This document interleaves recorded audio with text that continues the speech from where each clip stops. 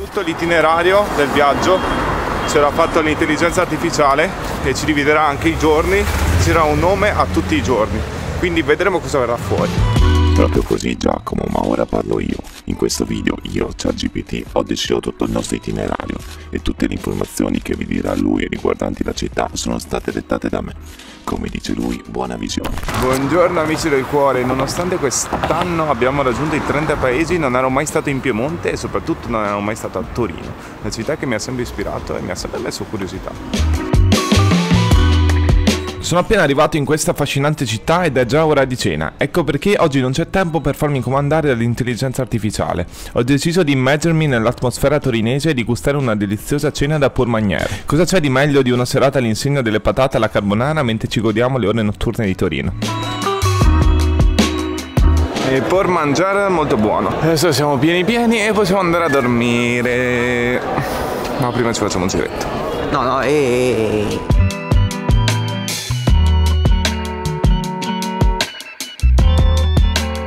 Ragazzi, domani si va in spiaggia, finalmente a guardare i pesci, a fare sub.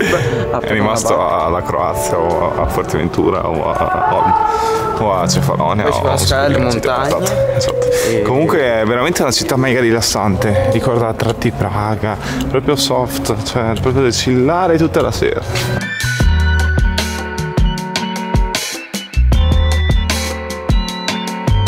Amici con questa vista romantica sul Po vi auguriamo una buona notte ci vediamo ah, tra poco per voi per noi domani eh, con la prima giornata eh, buonanotte Amici, inizia il vero e proprio primo giorno a Torino. Oggi iniziano con le quest che ci ha messo l'intelligenza artificiale, le cose da vedere. Colazione presso un caffè locale, magari assaporando un classico brioche con crema. Alla fine ci siamo messi qui in piazza Vittorio Veneto, ci siamo ordinati la brioche alla crema, come ci aveva detto l'intelligenza artificiale, quindi proviamo questa brioche, che poi non so perché la crema o se è una cosa casuale. Visita alla Mole Antonelliana, simbolo di Torino, e al Museo Nazionale del Cinema al suo interno. Adesso, mentre aspettiamo che apra la Mole Antonelliana, ci stiamo facendo un giretto lungo le sponde del fiume Po eh, solo perché ce l'abbiamo anche noi attaccato attaccato a casa il po', quindi è sempre lui che ci accompagna anche qui a Torino. Dai, mi vado a tuffare. Si tuffa. La Mola Antonelliana è un iconico edificio situato nel centro di Torino, Italia. Siamo saliti sopra la Mola Antonelliana, eh, abbiamo speso 4 euro, niente. Per fortuna siamo ancora ridotti e qui su è un vero spettacolo. Progettata dall'architetto Alessandro Antonelli nel XIX secolo, la sua costruzione iniziò come una sinagoga, ma successivamente fu convertita in un monumento nazionale e sede del Museo Nazionale del Cinema.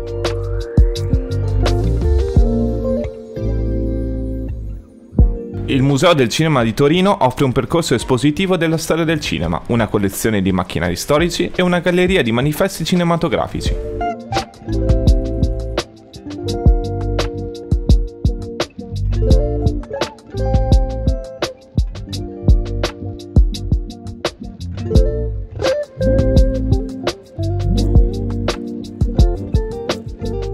bellissimo, c'è la stanza dei cartoni animati.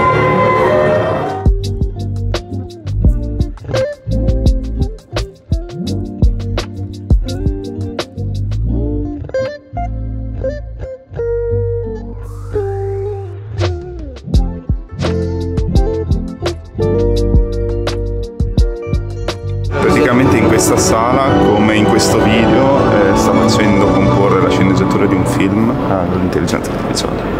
Quindi di fare. Visita il museo assolutamente bellissimo, super consigliato, secondo me il miglior museo che abbia mai visto in giro per il mondo, super super bello, un po' anche dato dagli argomenti che comunque il cinema mi è sempre interessato, in più ho studiato a scuola la fotografia e tutto, però veramente super consigliato, stupendo. Allora amici, questo caffè qui alle mie spalle è dove è stato inventato il trammezzino. Pazzesco, mondiale. Figata. Passeggia per via Roma e perditi nei misteri della Porta del Diavolo, uno dei simboli esoterici della città.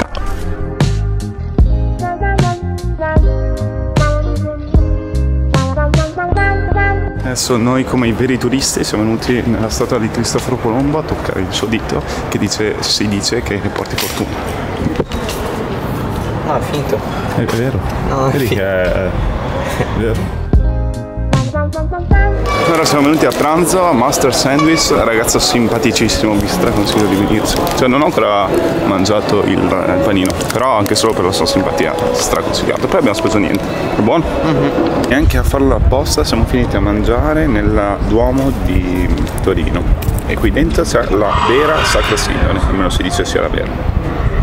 Tra un po' andiamo a visitare. Relax nei giardini reali prima di visitare il parco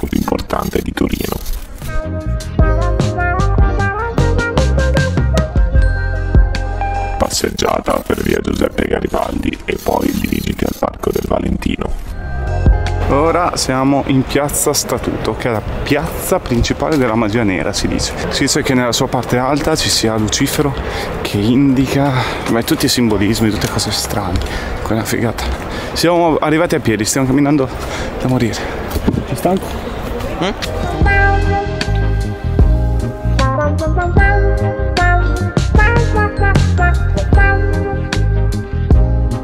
Gabi, si è preso il bubble tea. Buono? Io non bevo il bubble tea che adesso berrò dal Canada, da Toronto.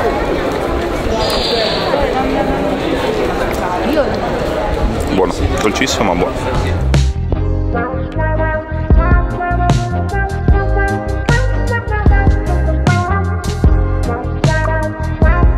Adesso camminando qui a casa ho saltato all'occhio questa gelateria che fa il gelato di latte e basta, con il latte piemontese appena munto. Ok, penso che se dovessi scegliere un solo cibo da mangiare nella vita è questo gelato qui. Fine del mondo. Una nuvola.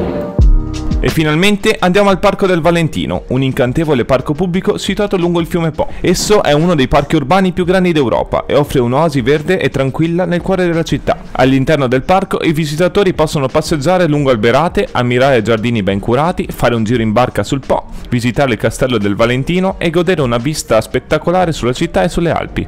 È un luogo ideale per rilassarsi, fare jogging o semplicemente godersi la bellezza della natura in una delle città più affascinanti d'Italia. Adesso siamo nella panchina degli innamorati. Io e questi due lampioni super super super super innamorati. Sono troppo carini. Purtroppo il borgo medievale all'interno del Parco del Valentino era chiuso durante la mia visita.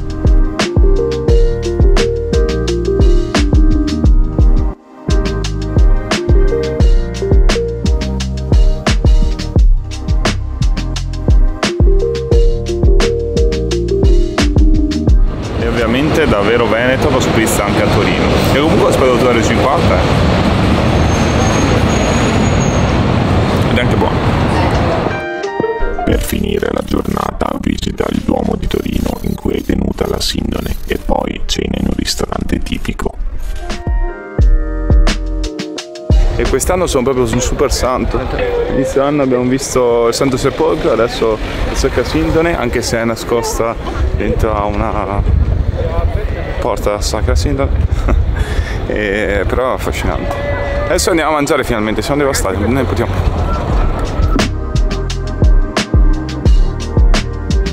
Adesso praticamente è sotto consiglio di tutta internet parlando di Torino, siamo venuti da Cianci Piola, che è questo posto agriturismo, questo locale, ristorante in cui fanno da mangiare super economico e i prodotti tipici di qui. Quindi sono stracurioso e figato.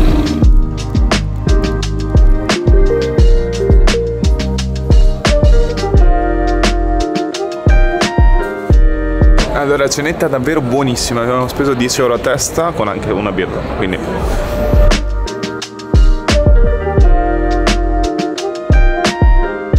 proprio lui, mi vuole far camminare un sacco. Allora, va bene che abbiamo fatto 25 km, però c'è ancora luce, il il monte deve ancora tramontare. 11. E, e quindi volete già andare in alloggio? No.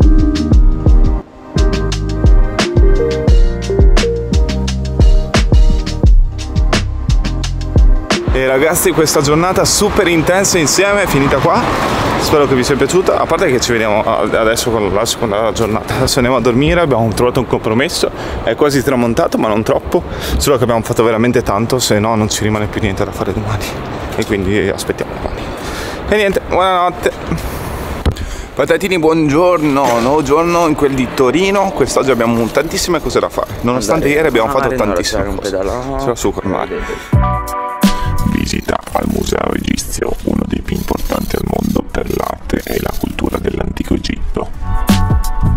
ovviamente la giornata non può iniziare con una buona banana. E siamo finalmente arrivati al Museo Egizio. Andiamo. Il Museo Egizio di Torino è uno dei più importanti musei egizi al mondo. La sua collezione vanta una straordinaria raccolta di reperti egizi antichi, tra cui mummie, sarcofagi, statue, papiri e oggetti d'arte. È stato fondato nel 1824 e ha una storia lunga e affascinante. Il museo offre una preziosa finestra sulla civiltà egizia e la sua eredità, rendendolo una tappa imperdibile per gli appassionati di storia e cultura antica.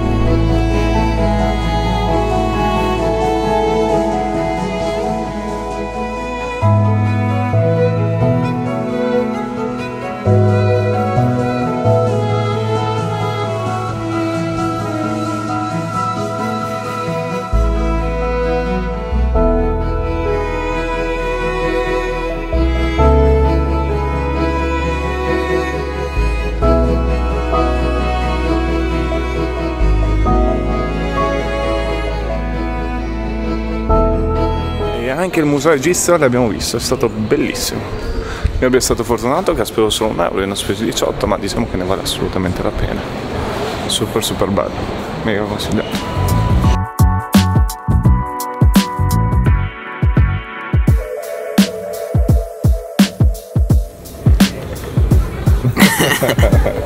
tra pizzino direi che ci stava proprio, abbiamo speso 7 euro a testa.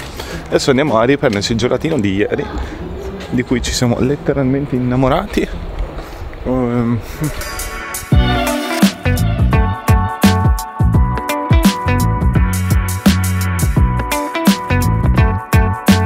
Al pomeriggio visita Superga e la sua basilica. Ammira la vista su Torino dalla cupola. Ora siamo saliti qua su per vedere la cattedrale di Superga e il colle di Superga. Si vede tutto il mare. E qua si vede tutta la vista su Torino. Un po' da distante, però si vede.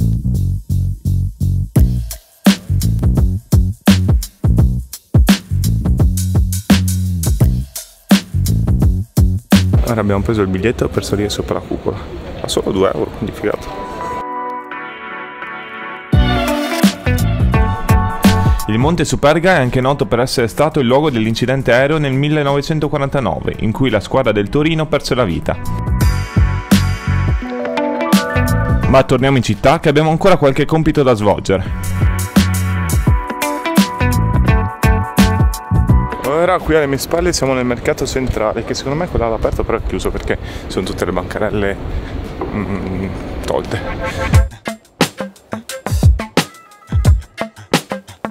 Sinceramente non so dove siamo finiti, però è una figata.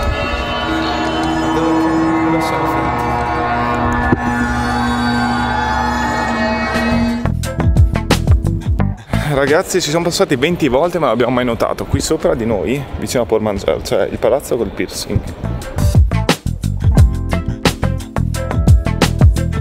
Per cena siamo tornati nello stesso ristorante dove abbiamo mangiato la sera prima, perché offriva un'ottima combinazione di qualità e prezzo. La cena era deliziosa. Concludi la giornata nella chiesa di Santa Maria del Monte dei Cappuccini per ammirare il tramonto. Ed è scoppiato dietro di noi proprio un tramonto pazzesco vista più bella di Torino, in assoluto.